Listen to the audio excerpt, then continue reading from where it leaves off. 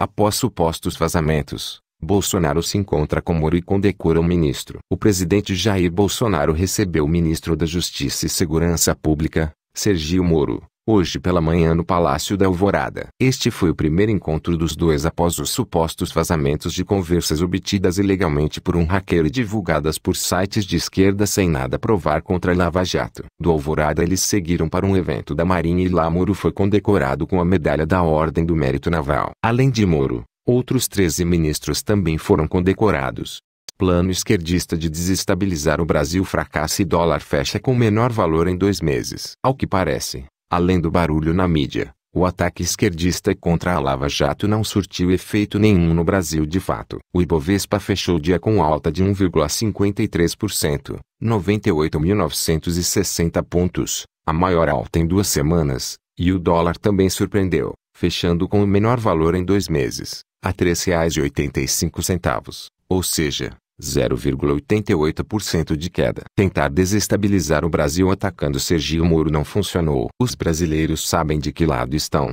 Do STF, ministro Barroso detona a euforia dos corruptos com supostos vazamentos da Lava Jato. O ministro Luiz Roberto Barroso, do STF, criticou a euforia que tomou os corruptos e seus parceiros com a publicação dos supostos diálogos de Moro e Deltan Dallagnol. O ministro foi enfático ao declarar que a corrupção existiu e precisa continuar a ser enfrentada, como vinha sendo. De modo que tenho dificuldade em entender a euforia que tomou os corruptos e seus parceiros. Todo mundo sabe, no caso da Lava Jato, que as diretorias da Petrobras foram loteadas entre partidos com métodos percentuais de desvios. Fato demonstrado. Tem confissão, devolução de dinheiro, balanço da Petrobras, tem acordo que a Petrobras teve que fazer nos Estados Unidos, continuou ele, e concluiu, a única coisa que se sabe ao certo, até agora, é que as conversas foram obtidas mediante ação criminosa. E é preciso ter cuidado para que o crime não compense. Alexandre Garcia explica que Adélio fica impedido de fazer delação premiada por transtorno mental. O brilhante jornalista Alexandre Garcia explicou, em seus artigos para a Gazeta do Povo, que Adélio Bispo fica agora impedido de fazer delação premiada, visto que a condição definida pela justiça é de transtornado mental. Nesse aspecto, ele não poderia entregar os possíveis cúmplices pois seu depoimento não valeria de nada, justamente por não ter credibilidade. O fato é que, essa história continua pairando em cima da nação, e as respostas, tanto sobre cúmplices, quanto mandante até mesmo quem paga aos advogados do ex-pessoal precisam vir à tona.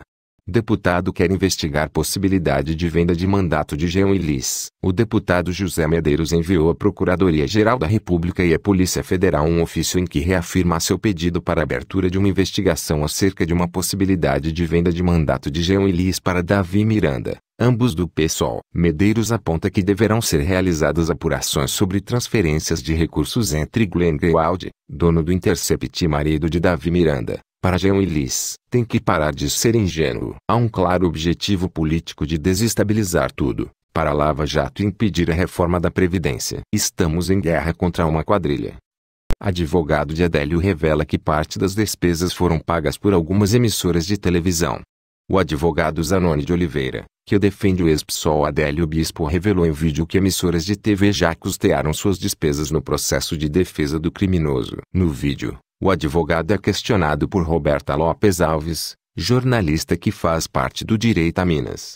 É, quem que está pagando todos esses, esses advogados aqui que está cuidando do, do, Adélio Bispo? Isso esses a... todos. Isso até o juiz federal lá em cima quer saber, na maioria dos brasileiros. Então, a quem interessa, o povo brasileiro quer saber, a quem interessa manter em segredo, a quem interessa esconder quem foi que mandou matar Bolsonaro? Ao meu, a pessoa que me pagou a pessoa que me pagou. Mas todos os advogados aqui e já, já disseram isso, não só ao juiz federal hoje, mas também na Polícia Federal, de que tirando aquele primeiro contato em que a pessoa uhum. me pagou, eu, Zanoni, no interior do meu escritório, uhum. a partir daí todas as despesas foram bancadas por algumas emissoras de televisão. Todas as despesas foram bancadas por algumas emissoras de televisão não vou citar um nome para você, uhum. nem para o Brasil, uhum. e também por todos os advogados que ficarão nesse processo até o fim. Gostou de nossos vídeos? Então se inscreva em nosso canal no YouTube, marque o sininho de notificação e dê aquele like. Assim você estará incentivando para que outros vídeos possam ser postados.